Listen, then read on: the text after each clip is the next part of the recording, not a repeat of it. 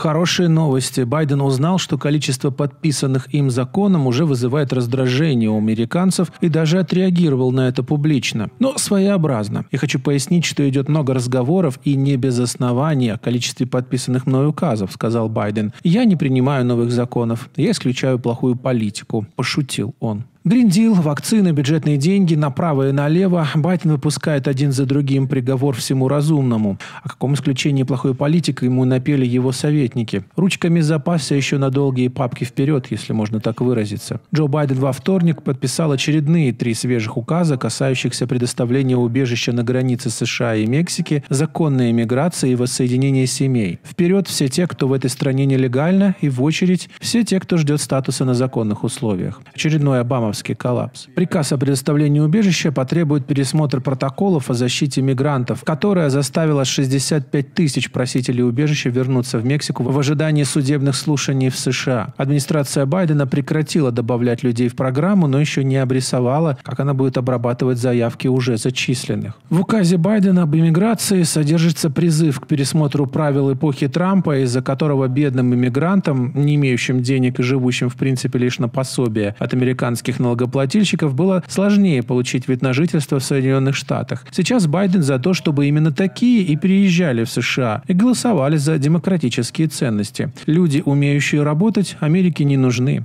Нужен лишь электорат. Ожидается, что пересмотр так называемого правила государственной пошлины положит начало концу процесса его отмены. Байден также создал целевую программу для воссоединения семей мигрантов, но опять-таки только для тех, которые были разделены на границе США и Мексики из-за пограничной стратегии Трампа 2018 года нулевой терпимости. По словам одного из официальных лиц, целевая группа, которую возглавит министр безопасности Министерства внутренних дел США DHS Александра Майоркас, недавно назначенный, рассмотрит возможность выдачи виз или использования других форм иммиграционной помощи для воссоединения разлученных семей. Today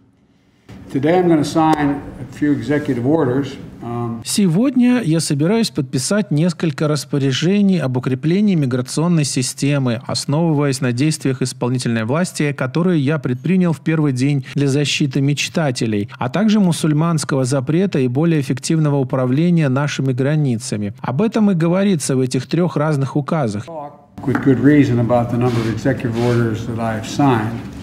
I'm not making new law. I'm eliminating bad policy. Я хочу прояснить, что идет много разговоров не без оснований о количестве подписанных мной указов. Я не принимаю новых законов. Я исключаю плохую политику. Я занимаюсь вопросами, 99% из которых президент, последний президент Соединенных Штатов, издавал указы, которые, по моему мнению, были очень контрпродуктивными для нашей безопасности, особенно в отношении России и области иммиграции. Речь идет о том, насколько Америка безопаснее, сильнее процветает, когда у нас есть справедливая, упорядоченная упорядоченная и гуманная легальная миграционная система. И с помощью первого действия сегодня мы будем работать, чтобы искоренить моральный и национальный позор предыдущей администрации, которая буквально, а не фигурально, вырывала детей из рук их семей, их матерей и отцов на границе и без каких-либо ограничений. Не планируйте никакого отношения к воссоединению детей, которые все еще находятся под опекой их родителей. Второе действие направлено на устранение коренных причин нашей миграции к южной границе. И третье действие, третье распоряжение, я собираюсь подписать приказы в полном пересмотре вредной и контрпродуктивной миграционной политики предыдущей администрации в целом по всем направлениям. The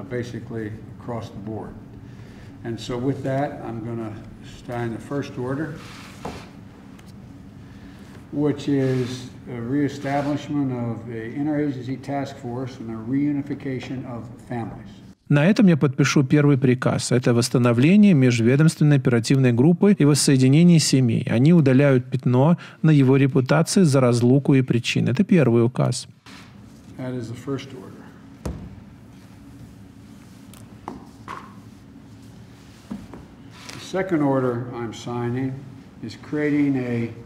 comprehensive regional framework to address the causes of migration – Второе распоряжение, которое я подписываю, это создание всеобъемлющей региональной структуры для устранения причин миграции и управления миграцией в Северной и Центральной Америке, а также для обеспечения безопасной и упорядоченной обработки лиц, ищущих убежище на границе Соединенных Штатов.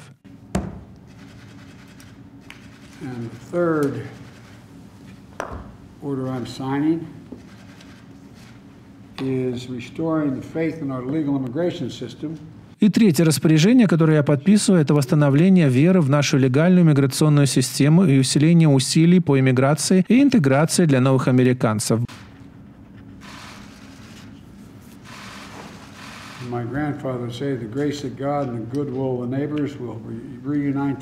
Мой дедушка сказал бы, что благодать Божия, добрая воля соседей воссоединят этих детей и восстановят нашу репутацию.